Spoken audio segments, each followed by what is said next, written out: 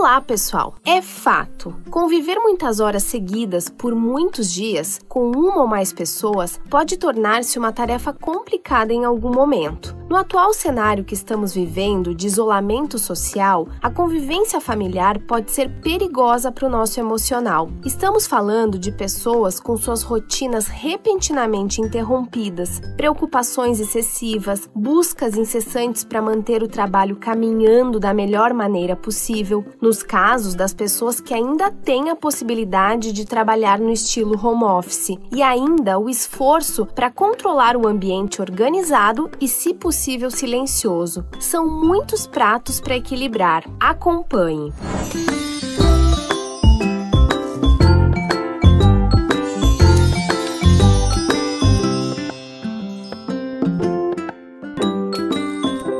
Antes de começar, lembro você para se inscrever no canal e ativar o sininho para não perder nenhum vídeo novo.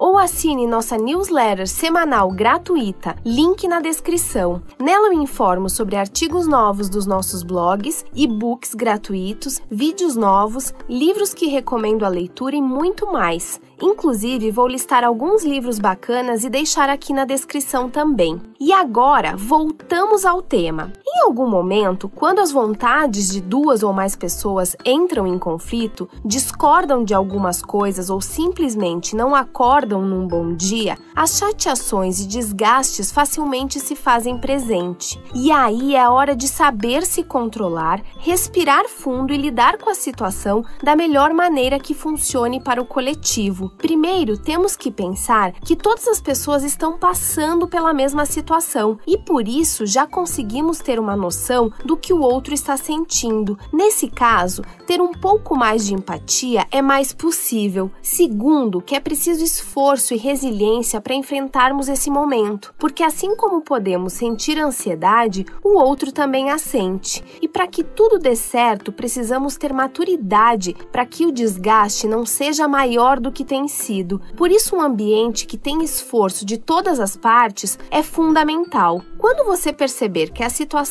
está ficando difícil, algumas coisas podem ser feitas para melhorar isso e retomar o bom convívio familiar. Dica 1: Trabalhando home office. Se você estiver trabalhando e o barulho ao redor está incomodando, peça gentilmente que falem mais baixo ou façam menos barulho porque você precisa se concentrar no que está fazendo. Se ainda assim os incômodos continuarem, mude o cômodo em que você está. Coloque um fone de ouvido e respire fundo. É apenas uma fase e logo tudo isso voltará ao normal. Dica 2: Tenha autocontrole sobre o seu humor. Se você você acordou de mau humor e não quer conversar, as pessoas ao redor não têm culpa. Apenas afaste-se por um momento e tente não manter nenhum diálogo que possa desencadear para uma discussão. Dica 3. Olhe também para as suas atitudes. Não olhe apenas para o que o outro está fazendo, mas seja consciente também de suas atitudes. É fácil olharmos para o que o outro está errando e nos incomodando, mas será que temos olhado também para as nossas atitudes? Será que há algo que estamos fazendo também não está incomodando o outro? Dica 4. Organização é fundamental. Procure manter o seu ambiente organizado. Um ambiente bagunçado ou com muitas informações gera desconforto e ansiedade, muitas vezes inconscientes.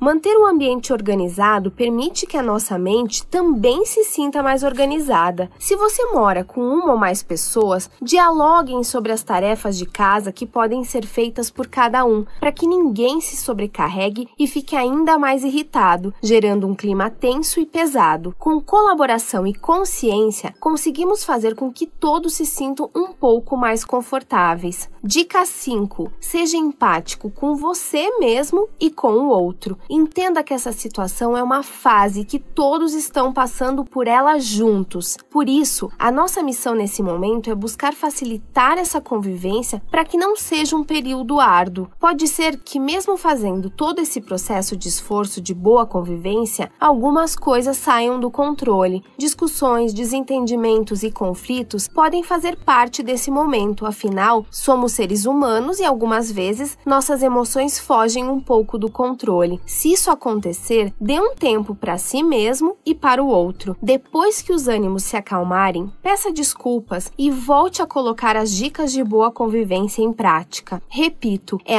apenas uma fase e estamos vivenciando isso juntos. Sairemos desse momento com muitas lições a serem aprendidas e também colocadas em prática. Gostou do vídeo? Então não se esqueça de deixar um like, se inscrever no canal e ativar o sininho para não perder nenhum vídeo novo. Mais conteúdo como esse você poderá encontrar nas nossas redes sociais e nas centenas de artigos nos nossos sites, que estão aqui na descrição.